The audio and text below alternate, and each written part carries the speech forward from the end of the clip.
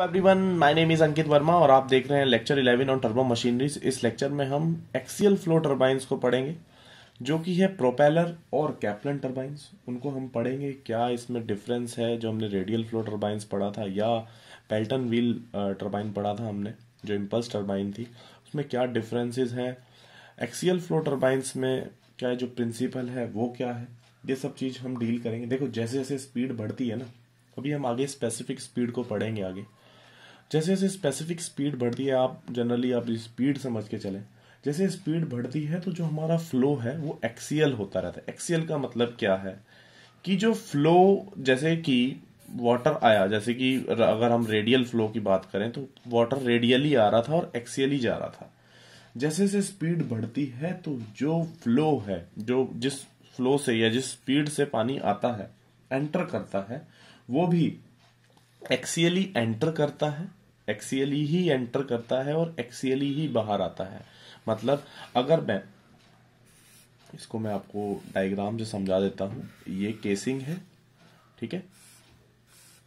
ये केसिंग है क्लियर और ये हमारी क्या है? गाइड वेन्स है। ऐसे ही बनाया था मैंने पिछली बार भी। यहाँ पर जो है गाइड वेन से जो पानी आ रहा है, वो कैसा आ रहा है? एक्सीएली आ रहा है। ठीक है? एक्सीएली आ रहा है और रनर ये जो शाफ्ट है, ये जो शाफ्ट है, इसी के ऊपर हम क्या लगा के रखते हैं? ब्लेड्स लगा के रखते हैं। जब ये रोटेट करती है तो वो एक तरह से क्या बन जाता है? रनर की तरह काम करता है। ये सब हम पढ़ेंगे अभी कि ये जो शाफ्ट है शाफ्ट को नीचे से हम एनलार्ज करके रखते हैं, उसको बॉस बोलते हैं। हब या बॉस उस पर हमारी ये ब्लेड्स होती हैं, जो कह सकते या वेन्स होती हैं, उस पर फिक्स हो रखी होती हैं, और ये पूरी शाफ्ट घूमती है। तो कह सकते हैं कि वाटर हमारा एक्सियली एंटर करेगा। अभी तक तो बस आप ये बात समझो, एक्सियली एंटर करेगा और एक्सियली ही आउट होगा। सबसे पहली चीज़ तो आप ये समझो। क्लियर? सबसे, अभी और कुछ मत समझो। उसके बाद देखो, जैसे मैंने बताया था, अगर स्टार्टिंग की बात करें जो मैंने इसको बेसिक आपको बताया था, रिएक्शन टर्बाइन का कि जो हमारा स्टार्टिंग में अगर हेड की बात करें इनलेट की बात करें जब इनलेट पे टर्बाइन का कौन कौन से हेड प्रेजेंट रहते हैं? प्रेशर एनर्जी हेड और काइनेटिक एनर्जी हेड हमने रिएक्शन ऑफ़ टर्बाइन भी पढ़ा इसमें डिग्री ऑफ़ रिएक्शन भी पढ़ा। और जब ये फ्लो जब रनर में जाता है तो उसका जो प्रेशर एनर्जी है, कुछ प्रेशर एनर्जी किसमें कन्वर्ट हो जाती है? काइनेटिक एनर्जी में कन्वर्ट हो जाती है। ठीक है? और हमने पढ़ा भी था कि वो रिएक्शन डेवलप होती है। प्रेशर डिफरेंस के कारण। तो प्रेशर डिफरेंस के कारण जो रिएक्शन इसीलिए इस, इस टाइप की टर्बाइन को क्या बोला था हमने? रिएक्शन टर्बाइन यहाँ पर जो इस टाइप का होगा कैप्लन जो हम एक्सियल फ्लो टर्बाइन की बात करें यहाँ की जो शाफ्ट होंगी वो क्या होगी? वर्टिकल होगी। इस बात को देखो अब नोट करें सारी बात लिखनी पॉसिबल नहीं है। शाफ्ट आपकी वर्टिकल होगी। और जो शाफ्ट का लोअर पार्ट होगा ना उसको हम थोड़ा सा बड़ा बना के रखेंगे। कैसे? अगर मैं इसको ऐसे बनाऊँ अगर ये हमारी शाफ्ट थी, ठीक है? ऐसे शाफ्ट थी तो इसका जो लोअर पोर्शन है लोअर पोर्शन ये ये ये इस तरह से हम बना के रखेंगे, इसको हम बोलते हैं हब और इसी हब पे क्या होंगी, जो हमारी वेन्स होंगी, इस पे हम फिक्स करके रखेंगे. अब यहाँ पर दिखाना तो पॉसिबल नहीं है, और ये रोटेट करेगा ऐसे. क्लियर बेसिक जनरल सा आइडिया दे रहा हूँ मैं आपको, कैसे इसमें होता है. और इसमें दो टाइप के हैं प्रोपेलर और कैप्लन टर्बाइन होते हैं, ठीक है? अब जैसे कि बाकी सब चीज़ तो इसमें सेम रहेगी, लेकिन मतलब अगर हम बेसिक डिफरेंस की बात करें, अगर फ्रांसिस टर्बाइन से डिफरेंस करें तो वहाँ पर पानी रेडियली आता था, लेकिन यहाँ पर एक्सीएल आता है और एक्सीएल बाहर जाता है, ठीक है? और और थोड़ा सा इसको और डिटेल में जाते हैं। अच्छा एक और इंपॉर्टेंट बात क्या है? यहाँ पर नंबर ऑफ़ ब्लेड्स क्या लगा के रखते हैं? कम लगा के रखते हैं, ठीक है? तो जो पानी तो हमें पता है कि फुल बन के आ रहा है, पूरा पूरा फुल जो ये रनर है, पूरा एक टाइम में फुल होगा। ऐसा नहीं कि पेल्टन व्हील की तरह की कुछ ही ब्लेड्स पे वो टकराएगा फुल ही एकदम से होगा। तो जो एक ब्लेड पे पहले जितना लोड पड़ रहा था, अभी फ्रांसिस टर्बाइन में जो लोड पड़ रहा था, अभी के लिए, क्योंकि ब्लेड्स में अब डिवाइड हो जाता है ना लोड तो तो यहाँ पर लोड क्या पड़ेगा? ज़्यादा पड़ेगा। ये भी इंपॉर्टेंट क्वेश्चन है, आ सकता है। और एक और इंपॉर्टेंट बात, जब ब्लेड्स कम होंगी तो फ्रिक्शनल फ्रिक्शनल रेजिस्टेंस भी कम क्योंकि कॉन्टेक्ट एरिया कम हो जाएगा। स्मॉलर कॉन्टेक्ट एरिया हो जाएगा तो फ्रिक्शनल लॉसेस भी यहाँ पर क्या होंगे? कम होंगे, जो हमने फ्रांसिस टर्बाइन में पढ़ा था। ये इंपॉर्टेंट क्वेश्चन डायरेक्ट ईएस के क्वेश्चन समझ लो आप ये। आए हैं, आप देख लेना। जो आप अगर लेक्चर सुन लेंगे एक बार और डायरेक्ट क्वेश्चन करने लेना आप। देख लेना आपको डायरेक्ट क्वेश्चन आपके सॉल्व हो जाएँगे। अब एक और इंपॉर्टेंट बात है। एक दिक्कत है इसमें, जब जैसे स्पीड बढ़ेगी तो यू की वैल्यू भी तो बढ़ेगी। तो जैसे कि हमने पढ़ा था कि मिक्स टर्बाइंस में यू वन बराबर यू यू वन जो था यू टू से बड़ा था, या कह सकते हैं U one is not equal to U two हम यहाँ पर ऐसा अरेंजमेंट करके रखेंगे। हम इस तरीके से वेन्स बनाएँगे। क्योंकि जो यू किस पे डिपेंड कर रहा ओमेगा तो हमारा सेम है रेडियस पे ही तो डिपेंड कर रहा था आर ओमेगा से। तो हम ऐसी कोशिश करेंगे कि जो रेडियस की वैल्यू होगी, क्योंकि हम जो अपने मतलब जो रेडियस है सेंटर से, ये जो अगर ये पूरा इसका सेंटर है और जहाँ से हम, जहाँ से वो एंटर करता है तो वो आर वन हो जाता है और जहाँ से वो बाहर आता है, वो आर टू होता है। हम ऐसी कोशिश करेंगे कि जो आर वन बराबर क्या हो आर टू हो। इस टाइप का अरेंजमेंट करेंगे। अभी तो मैं आपको बेसिक बता दे रहा हूँ, ठीक है? तो यहाँ पर हम कोशिश करेंगे कि बराबर रहे, ठीक है? और एक और इंपॉर्टेंट बात, जैसे मैंने आपको बताया एक्सीएल फ्लो टर्बाइंस में। अच्छा जैसे मैंने आपको बताया था कि दो टाइप की टर्बाइन से कैप्लन और प्रोपेलर। कैप्लन टर्बाइन में क्या डिफरेंस है ना? मैं मेन पॉइंट आपको बता दे रहा हूँ। कैप्लन टर्बाइन में कि जो हमारी ब्लेड्स हैं, वो ब्लेड्स जो होंगी, वो क्या होंगी? एडजस्टेबल होंगी, या कह सकते हैं टेक्निकल भाषा में जो रनर की ब्लेड्स हैं, वो एडजस्टेबल होंगी और वो रोटेट हो सकती हैं। अबाउट जिस पे भी हमने फिक्स कर रखा है, जैसे उसके हब पे हमने फिक्स करके रखा है तो उसी के हिसाब से वो रोटेट हो सकती है। उससे क्या होगा? जैसे कि हमें पता है कि अगर ब्लेड्स फिक्स रहेंगी तो वाटर हमारा क्या करेगा? विद शॉक एंट्री करेगा शॉक से एंट्री करेगा। शॉक से मतलब विद शॉक शॉक ठीक है? शॉक इफ़ेक्ट हो जाएगा, ठीक है? और उससे हमारी एफिशिएंसी रिड्यूस हो जाएगी। तो हम क्या करके रखते हैं? यहाँ की जो कैप्लन की ब्लेड्स होंगी, उसको हम इस तरह से रखते हैं कि वो एडजस्ट हो सके। ठीक है? और वो एडजस्ट ऑटोमेटिकली हो जाते हैं। हम सर्वो मैकेनिज्म वगैरह लगा के रखते हैं उसमें। ठीक है? तो हर एक लोड के लिए जो हमारा फ्लो जो भी एंटर करेगा, वो किदा, कैसा हो? विदाउट शॉक हो। क्लियर ये बहुत इंपॉर्टेंट है। थ्योरी टाइप से हो रहा है, लेकिन इंपॉर्टेंट है। कभी भी आपसे कोई भी क्वेश्चन ये सब चीज़ पूछ सकता है।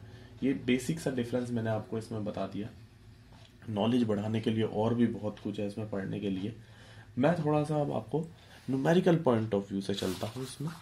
न्यूमेरिकल पॉइंट ऑफ़ व्यू से। देखो, जैसे मैंने बताया, इसका जो डायमीटर होगा, कैसे? अगर बस मैं जनरल पॉइंट से आपको बताता हूँ कि ये हमारा ये हब बनता है। ठीक है, जिसका डायमीटर होता है डीबी क्लियर और ये मतलब ये शाफ्ट है ना हमारी ओमेगा स्पीड से रोटेट करता है। और ये डी नॉट क्या होता है? Outer diameter of runner D naught क्या है? रनर का आउटर डायमीटर और डीबी क्या है? डायमीटर ऑफ़ बॉस कह लो हब कह लो। तो अगर आपसे कोई डिस्चार्ज की वैल्यू पूछेगा तो पहले तो ये बताओ जब ये एक्सियली फ्लो करेगा पानी एक्सियली फ्लो करेगा, किस एरिया पे कर रहा है ये? सोचो कि इसी एरिया पे कर रहा है। ये एरिया कितना है? यानी कि इस एरिया में ही फ्लो हो रहा है ना पानी, देख लो। कौन सा एरिया है? यानी कि pi by four D naught square minus D F square ये सबसे बेस्ट तरीका है समझने का इसको, ठीक है? बहुत ज़्यादा कुछ मुश्किल नहीं है, खाली इसी एरिया में फ्लो हो रहा है। इसी एरिया में फ्लो अगर मैं फ्लो वेलोसिटी से इसकी मल्टीप्लाई कर दूँ तो ये क्यू आ जाएगा ना। और फ्लो वेलोसिटी का हमारे पास एक और तरीका इसको हम ऐसे भी लिख सकते हैं K F into under root two G H K F को हम किससे डिनोट करते हैं? फ्लो रेशियो बोलते हैं इसको फ्लो रेशियो फ्लो रेशियो दिया होगा हेड दिया होगा तो हम वी एफ़ भी निकाल सकते हैं और ये भी आ जाएगा। क्लियर ये सबसे मतलब समझने के लिए सबसे बेस्ट तरीका है क्योंकि इस एरिया क्योंकि ये डायग्राम से हमें समझ आता है किस कितने एरिया में फ्लो हो रहा है। तो ये एरिया ऑफ़ फ्लो कहते हैं इसको। क्या कहते हैं? एरिया ऑफ़ फ्लो कई बार आपको के की वैल्यू दे देगा। के टी से डिनोट करते हैं उसको और आपको डायरेक्ट निकाल देना है उसका, जो उसकी वैल्यू दी होगी। एरिया दिया होगा, सीधा डायमीटर दिया होगा, ठीक है? तो वो हमने किस केस में निकाला? जब केटी से हमने एरिया की मल्टीप्लाई की थी, जब हमने फ्रांसिस टर्बाइन को डील किया था। यहाँ पर हमें इस तरह से निकालना है। ओके और जैसे मैंने बताया, यहाँ पर क्या अलग है थोड़ा सा? कि जो u की वैल्यू है u1 बराबर क्या होता है? U2 होता है। बाकी सब कैलकुलेशन सेम है। क्योंकि मैंने बताया आर की वैल्यू हम क्या रखते हैं यहाँ पर? सेम रखते हैं क्योंकि वो जो ब्लेड्स हैं वो क्या है? एडजस्टेबल है। बस इतना याद रखो आप। क्लियर और फ्लो एरिया भी? फ्लो एरिया क्या होगा? फ्लो एरिया जैसे हमने ए एफ़ से डिनोट करा तो ये भी क्या होगा दोनों के लिए ए वन इक्वल्स टू क्या होगा? ए टू होगा। क्योंकि आ, देखो क्यू की वैल्यू क्या है? ए वन एफ़ वन इसको ऐसे लिख देते हैं। A F one into V F one बराबर A F two into V F two और अभी मैंने बताया एरिया दोनों का बराबर होगा। ठीक है एरिया तो सेम ही रहेगा तो यहाँ से हमारा क्या आएगा? वी एफ़ वन बराबर वी एफ़ टू क्लियर इस फंडे से हमारी फ्लो वेलोसिटी भी सेम आ जाएगी। और जैसे मैंने बताया, जो पेरीफेरल वेलोसिटी होती है, वो किस पे डिपेंड करती है? अच्छा ये बताओ। रेडियस पे ही तो डिपेंड करती है ना। Radius of the point from the centre ठीक है, वही आर ओमेगा हो जाएगा। ठीक है? तो ये जो है एंगल्स हम इस तरीके से बना के रखते हैं कि ये यू की वैल्यू क्या रहे? सेम रहे। क्लियर तो ये सबसे इंपॉर्टेंट बात थी। और जैसे मैंने बताया velocity of flow remains constant V F one बराबर वी एफ़ टू वो भी मैंने आपको तरीका बता दिया कैसे हुआ। इतना ही है इसमें कोई स्पेशल अब इसमें कोई गेम नहीं होने वाला। ठीक है? आपसे कुछ भी वो पूछ सकता है कि जो मर्ज़ी आप उसमें बता सकते हैं। ठीक है? क्योंकि आपको बेसिक एंगल्स बनाने आ गए हैं और बस आपको उसमें सॉल्व करना है। कोई स्पेशल चीज़ करने की ज़रूरत नहीं है। और थोड़ा सा मैं आपको इसका डिफरेंसेस में बता दूँ कि अगर कैप्लन और फ्रांसिस के बीच में डिफरेंस की अगर हम बात करें फ्रांसिस टर्बाइन क्या था? रेडियली इनवर्ड कह सकते हैं या मिक्स्ड फ्लो टर्बाइन बोल सकते हैं उसको। ठीक है कैप्लन टर्बाइन क्या है? एक्सियल फ्लो टर्बाइन है। ठीक है? अच्छा फ्रांसिस टर्बाइन की जो शाफ्ट थी, वो होरिजोनटल भी हो सकती थी वर्टिकल भी हो सकती थी, लेकिन कैप्लन की क्या सिर्फ़ वर्टिकल रहेगी। ठीक है? और अच्छा फ्रांसिस टर्बाइन में हमने पढ़ी थी, हमने कोई एडजस्टेबल वेन्स के बारे में तो कहीं बात नहीं की थी ना, लेकिन यहाँ की जो वेन्स है एडजस्टेबल है। अच्छा नंबर ऑफ़ वेन्स भी यहाँ पर ज़्यादा होती है फ्रांसिस टर्बाइन में यहाँ पर कम होती है, चार से छह के बीच में होती है। ठीक है? और जो हमने हेड की बात की थी। हेड इसके लिए लो होता है स्पेसिफिक स्पीड ज़्यादा होती है। फ्लो रेट भी ज़्यादा होता है फ्रांसिस टर्बाइन के बारे में बोल रहा हूँ मैं। हेड भी लो फ्लो रेट ज़्यादा और स्पेसिफिक स्पीड भी ज़्यादा। ठीक है? और एक और बात एक्चुअली में गवर्निंग मैकेनिज्म हमें लगा के रखना होता है क्योंकि अकॉर्डिंग टू लोड यहाँ पर भी हम गवर्नर यूज़ करते हैं। ठीक है? वो बहुत आगे की चीज़ है। लेकिन मैं आपको बता दूँ, जैसे कि यहाँ पर गवर्निंग मैकेनिज्म हमें हैवी लगा के रखना पड़ता है, क्योंकि हमें यू की वैल्यू फिक्स रख के रखनी है, ठीक है? तो अकॉर्डिंग टू लोड हमें जो स्पेसिफिक जो स्पीड है या जो उसका क्यू की वैल्यू है, उसको क्या रखना होता है? कांस्टेंट रखना होता है, ठीक है? तो उसके लिए हमें गवर्निंग मैकेनिज्म यूज़ करना पड़ता है। यहाँ इसके लिए कैप्लन टर्बाइन के लिए हैवी रखना पड़ता है। उसके लिए फ्रांसिस टर्बाइन के लिए नॉर्मल बहुत इंपॉर्टेंट ये थे डिस्कशन क्योंकि फ्रांसिस टर्बाइन और कैप्टन टर्बाइन कई बार यूनिवर्सिटी में ही आ जाता है। ईएस में भी पाँच नंबर में कई बार ये क्वेश्चन आया है। एक नंबर में क्वेश्चन आपका गेट में भी इनमें से कुछ भी बन सकता है। फ्रांसिस टर्बाइन का हेड लो होता है या हाई होता है, ये सब चीज़ आपको पता होनी चाहिए। बेसिक बेसिक चीज़ें हमने पढ़ी है। और एक ईएस में एक बार क्वेश्चन आया कि जो ब्लेड्स होती हैं किसकी बनी होती है? स्टेनलेस स्टील की बनी होती है for Kaplan turbine Kaplan turbine के लिए जो डायरेक्ट क्वेश्चन मेरे को जो याद आ रहे हैं, वो मैं बताया जा रहा हूँ आपको।